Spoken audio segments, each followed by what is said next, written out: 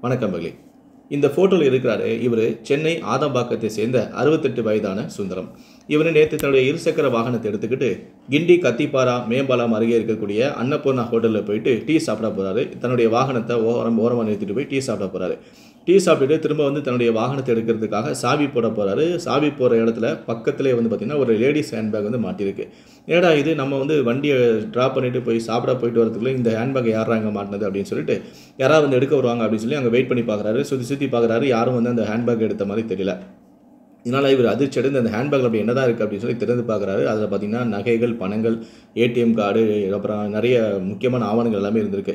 இதை பார்த்து அதிர்ச்சி அடைந்தவர் உடனடியாக அருகில் இருக்கக்கூடிய பரங்கிமலை காவல் நிலையத்துக்கு தகவல் சொல்கிறாரு உடனே இந்த பேக்கையும் எடுத்துகிட்டு அங்கே போகிறாரு அங்கே போனதுமே வந்து காவலர்கள் வந்து அவர் கண்ணு முன்னாலே வந்து திறந்து பார்க்குறாங்க.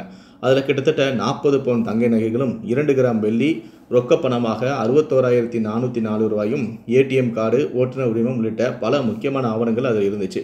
உடனடியாக அவர்கிட்ட வந்து நாங்கள் உன்னுடைய நீங்கள் நீங்கள் ஒப்படைச்ச பேக்கில் இந்த விஷயங்கள்லாம் இருந்துச்சு அப்படின்னு சொல்லி அவருக்கு எழுதி கொடுத்துட்டாங்க. அதுக்கப்புறம் அந்த ஏடிஎம் கார்டு அந்த அந்த முக்கியமான ஆவணங்கள் இருந்த ஃபோன் நம்பரை வந்து தொடர்பு கொள்கிறாங்க அது வந்து நாட் ரீச்சபிள் அப்படின்னு சொல்லி வருது.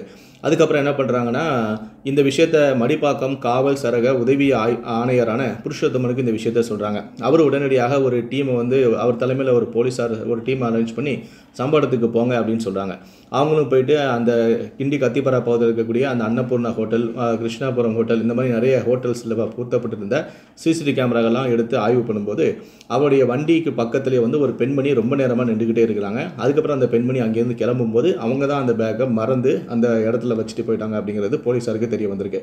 அந்த அந்த அந்த ஆவணங்கள் இருந்த ஃபோன் நம்பருக்கு ட்ரை பண்ணாங்கல்ல அது ஃபஸ்ட்டு வந்து நாட் ரீச்சபிள் இருந்துச்சு. திரும்ப அந்த ஆவணத்தில் அந்த நபர்லேருந்து ஃபோன் போலீஸ்க்கு வந்திருக்கு.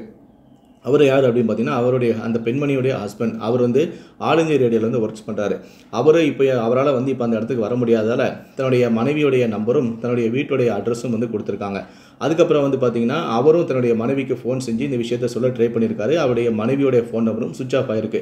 போலீஸாரும் அவருடைய மனைவியை தொடர்பு கொண்டிருக்காங்க. அந்த ஃபோன் நம்பரும் சுவிச் ஆஃப் வந்ததால் அவங்களுடைய வீட்டுக்கே போயிட்டு விசாரணை நடத்திருக்காங்க விசாரணை நடத்தினால அவங்க வீட்டில் இல்லை அப்படிங்கிறது தெரிய வந்திருக்கு. அதுக்கப்புறம் அவருடைய பையனுடைய ஃபோன் நம்பரை பெற்று அவங்களுடைய பையனுக்கு தகவல் சொல்லி அவர் அதுக்கப்புறம் அதுக்குள்ளே வந்து அவருடைய பையனும் அவருடைய அந்த அந்த பெண்மணியுடைய வீட்டுக்காரரும் வந்துட்டாங்க.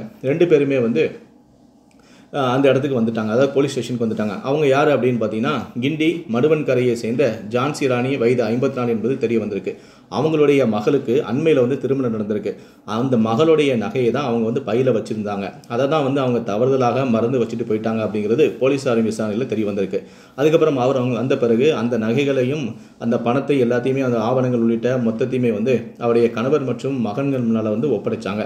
இது குறித்த தகவல் சென்னை காவல் ஆணையரான சந்தீப் ராய் சத்தோர் என்ன பண்ணார்னா அந்த கைப்பையை நேர்மையாக பத்திரமாக போலீஸாரிடம் ஒப்படைத்த முதியவரான சுந்தரத்தை நேரில் அழைத்து அவருக்கு வெகுமதி வழங்கி பாராட்டினார். அதே போல் இந்த விவகாரத்தில் விரைந்து நடவடிக்கை எடுத்து விரை- நடவடிக்கை எடுத்த மடிப்பாக்கம் உதவி ஆணையரான புருஷோத்தமன் மற்றும் அந்த போலீஸ் டீமையும் வந்து அவர் பாராட்டினார்.